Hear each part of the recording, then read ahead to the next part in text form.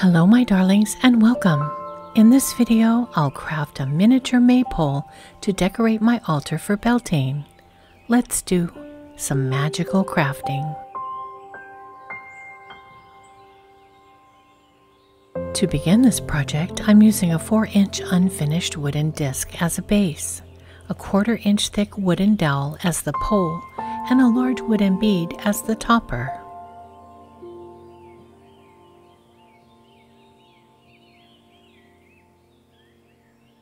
I've painted the bead a pale green color and I'm hot gluing it to the top of the pole.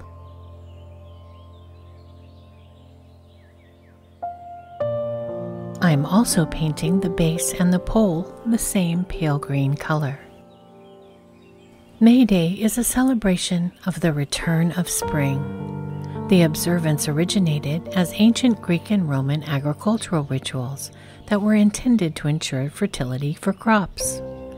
More modern celebrations vary widely and include the gathering of wildflowers and green branches, the weaving of floral garlands, the crowning of a May king and queen, and the setting up of a decorated May tree or maypole around which people dance. The next step is to cut several lengths of ribbon, slightly longer than the pole. Originally, I was going to use a bunch of different rainbow colors, but ultimately I settled on green and pink only. I wanted to echo those colors in the moss and flowers on the base and topper.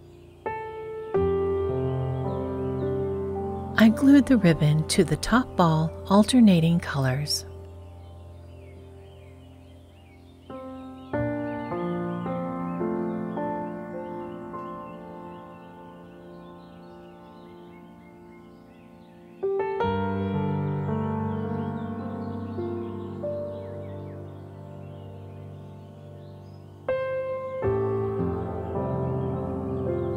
I covered the top ball with moss.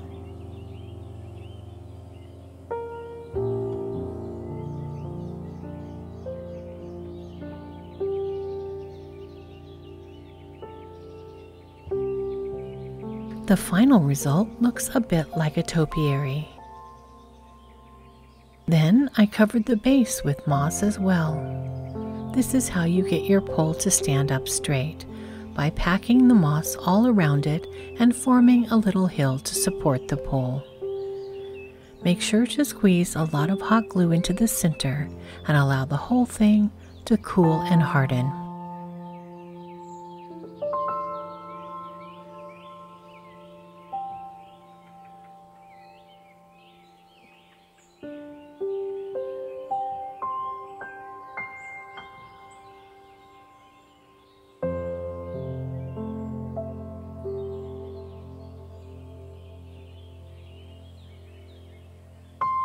The next step is to add some paper flowers on the base and top moss. I decided to add adhesive rhinestones to the center of each flower. Then I glued them on the base in a scattered pattern.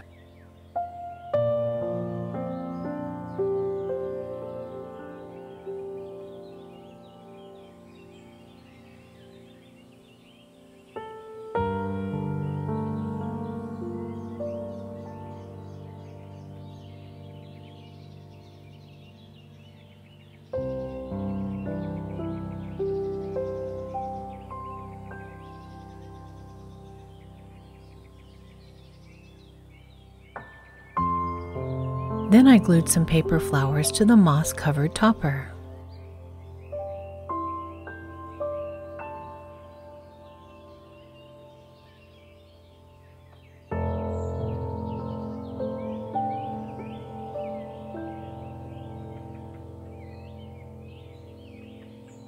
I had twisted the ribbon around the pole very loosely and lightly tacked a few of them down with glue so they would look natural.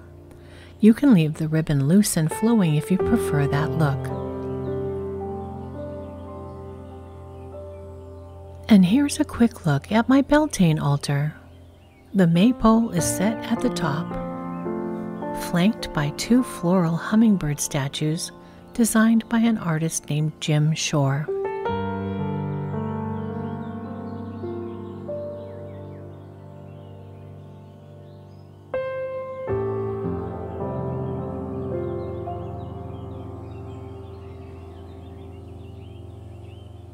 Next to that, I've placed my shrine to the Greek goddess Gaia.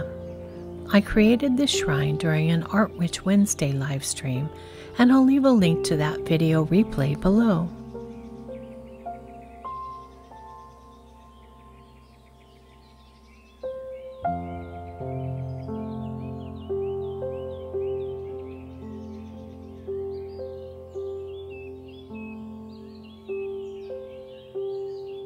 Below that is my Beltane wreath, which I'm using as a candle holder for a large blue pillar candle. I'll link to the Beltane wreath craft video below as well.